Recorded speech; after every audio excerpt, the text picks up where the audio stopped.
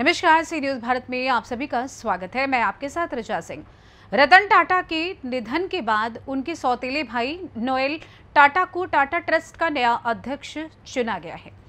Noel Tata Tata group के 34 लाख करोड़ रुपए से ज़्यादा के कारोबार का नेतृत्व करेंगे। वो पहले से ही टाटा सन्स को संभाल रहे थे। टाटा ग्रुप की शुरुआत साल अठारह में जमशेद जी टाटा ने की थी। आज टाटा ग्रुप में 100 से ज़्यादा कंपनियाँ हैं और इसका मार्केट कैप 403 अरब डॉलर से ज़्यादा का है। भारतीय रुपए में ये रकम 34 लाख करोड़ रुपए से ज़्यादा की है।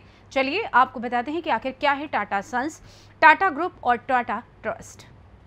सबसे पहले टाटा सन्स की बात करते हैं। टाटा सन्स, टाटा ग्रुप की होल्डिंग कंपनी और प्रमोटर है। टाटा की सभी कंपनियाँ इसी के अंतर्गत आती हैं।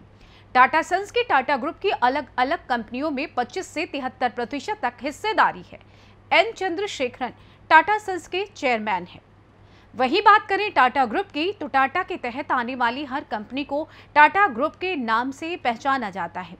टाटा ग्रुप में 100 से ज़्यादा कंपनियाँ हैं। टाटा ग्रुप की कंपनियों में टाटा सन्स के अलावा दूसरे शेयर होल्डर भी हैं। अब बात करते हैं टाटा ट्रस्ट की, जो टाटा की परोपकारी संस्था है। टाटा ट्रस्ट के केंद्र में दो मुख्य संस्थाएँ हैं। पहली, सर रतन टाटा ट्रस्ट और दूसरी, सर दोराब जी टाटा ट्रस्ट। ये दोनों ट्रस्ट सर जमशेद जी टाटा के बेटों की याद में स्थापित किए गए हैं। वहीं सर रतन टाटा ट्रस्ट और सर दोराब जी टाटा ट्रस्ट में कुल तेरह ट्रस्टी हैं।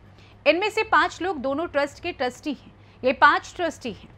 पूर्व रक्षा सचिव विजय सिंह, टीवीएस समूह के वेणु श्रीनिवासन, रतन टाटा के सौतेले भाई, नोएल टाटा, व्यवसायी महली मिस्त्री, वकील डेरियस खम्बाटा इसके अलावा सर दोराब जी टाटा ट्रस्ट के पूर्व Citi India CEO Pramit Jhaveri, Ratan Tata के छोटे भाई जिमी टाटा और सर रतन टाटा ट्रस्ट के जहांगीर अस्पताल के सीईओ जहांगीर एचसी जहांगीर अन्य ट्रस्टी हैं। ऐसे में सवाल उठता है कि आखिर वो टाटा ट्रस्ट कितना पावरफुल है? टाटा ट्रस्ट को टाटा सन्स का सर्वे सर्वा कहा जाता है। टाटा ट्रस्ट के पास अकेले टाटा सन्स का लगभग छाछठ प्रतिशत शेयर है। बावन प्रतिशत शेयर टाटा ट्रस्ट के अंतर्गत आने वाले सर रतन टाटा ट्रस्ट और सर दोराबजी टाटा ट्रस्ट के पास है, जबकि 14 प्रतिशत हिस्सा दूसरे ट्रस्ट के पास है।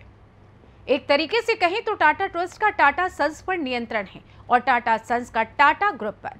रतन टाटा के निधन के बाद 11 अक्टूबर को टाटा ट्रस्ट के सदस्यों ने नए अध्यक्ष का चयन करने के लिए बैठक की और नोएल टाटा को चेयरमैन चुना। ये पद पूरे समूह पर महत्वपूर्ण प्रभाव डालेगा क्योंकि ट्रस्ट के पास टाटा सन्स में बड़ी हिस्सेदारी है। इसके अलावा समूह के नियमों के अनुसार दो मुख्य ट्रस्ट टाटा सन्स के एक तिहाई निदेशकों को नामांकित कर सकते हैं और सभी निदेशकों की नियुक्ति और हटाने का अंतिम अधिकार भी उन्हीं के पास है।